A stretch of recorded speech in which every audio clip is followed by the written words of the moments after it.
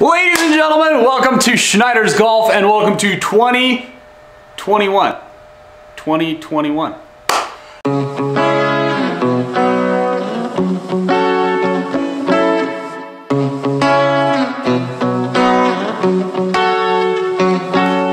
This is the first video of 2021 that I'm going to be making.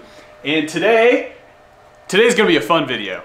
We are gonna have so much fun. We're going to be speed testing the feed rate on the Arrow 500. The specs on the Arrow when it was brand new were about 475 inches a minute on the table and the Z-axis for cutting speed and about 780 inches a minute on rapids. With the new Centroid retrofit, I'm gonna try and turn up our feed rates to around 400. I don't think I need to go quite to 475, we'll see. But I wanna start at 100 inches a minute and just cut a really basic part and then bump up incrementally 100, 200, 300, 400, just so you can see the difference in the speed and feed rate. A lot of people don't understand that you can cut faster or slower with a mill, and some of that depends on how fast your spindle can turn. If your spindle's limited to like 8,000 RPM, which this was from the factory, you can only cut so fast. But if you have a spindle that can go, say, uh, 10,000 or 12,000 RPM, you can increase your feed rate because you're moving faster and the spindle's moving faster. We are gonna try this at 100 inches a minute, 200, 300, and then up to 400 inches a minute. You'll see incrementally the speed change. I think that I'm gonna leave the spindle off just so that we can listen to the X, Y, and Z motors, make sure and check the velocity, make sure that nothing's getting broken, and the, the mill isn't moving around too much on the cement because this mill's never been over 300 inches a minute since I've had it. I'm really excited. This is gonna be fun. This is just a fun video. We're gonna test this out, see how quick we can make it go, and hopefully nothing breaks. Hopefully nothing goes haywire or anything. Let's get started.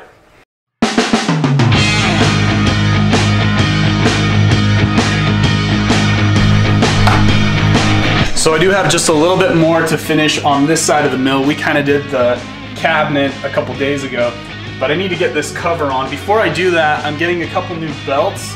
This belt that I have on it is a 30 millimeter belt, and it's got some weird harmonics in it. It's causing vibration in my spindle motor and my spindle.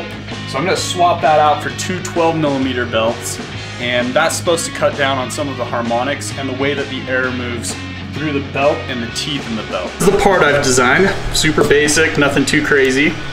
We're going to be doing an adaptive roughing strategy on this to start. And then I'm gonna do just a basic flow tool path to go down through here. We'll do some adaptive, we'll do some flow, and we'll just see the difference between the 100, the 2, the 3, and the 4. I'm gonna hit cycle start, and we're gonna run it. Here we go. 100 inches a minute.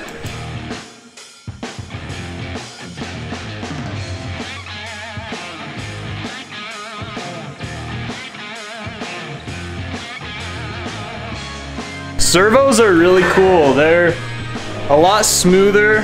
They're a lot quieter than steppers. Like if the Tormach was moving right now, you'd hear it. It kind of does like a ee, ee, ee, ee, kind of almost like a printer.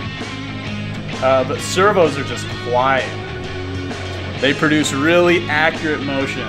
So we're into our 3D contouring. Z sounds pretty good. So 100 inches a minute looked pretty good. Nothing too crazy. There's a little bit of like, uh, I don't know if it's a little bit of lash in the Z-axis ball screw, just a little bit, but the motion looks good. It all sounded really good. So we're gonna bump it up to 200 inches a minute, and just for old time's sake, we're gonna see how long our program takes on a stopwatch. So 200 inches a minute, I'm gonna press the stopwatch. We'll see how long our program takes. Here we go.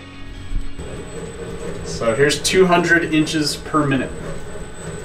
Still not very exciting, but for this old arrow, that's pretty good. Still sounds really good. The motion sounds good. The true test will be the 3D tool paths, the up and the down. That's kind of where Z was making the, a little bit of a lash noise last time. Total time so far is 2 minutes and 11 seconds.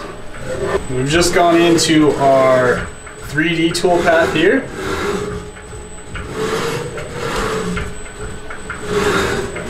Looks good. Just getting a little bit of that sound in the Z ball screw still, but all in all, the motion looks pretty fluid. All right, we just homed six minutes almost exactly. It was a hair longer than I thought, so almost exactly six minutes at 200 inches a minute. Let's do 300, here we go. We're bumping it up, 300 inches a minute. We're gonna test the time again. Okay. You can see we're moving at quite, quite a better clip here. So 300 inches a minute, that looks pretty good. I like the way it sounds still. Nothing too crazy so far. I like the rapid moves. It moves pretty quick. A lot faster than what I'm used to.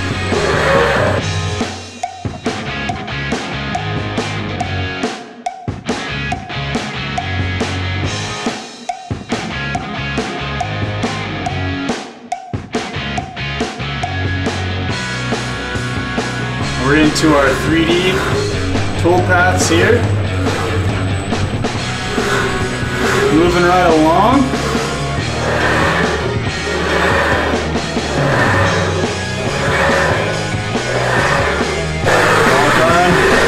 And 545, so we knocked about 15 seconds off with uh, 100 inches a minute faster. I mean, we took 15 seconds off that part.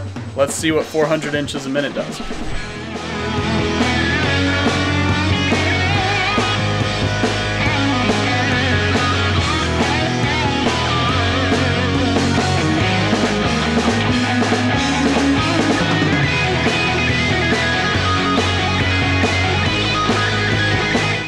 So we shaved about five seconds off that program.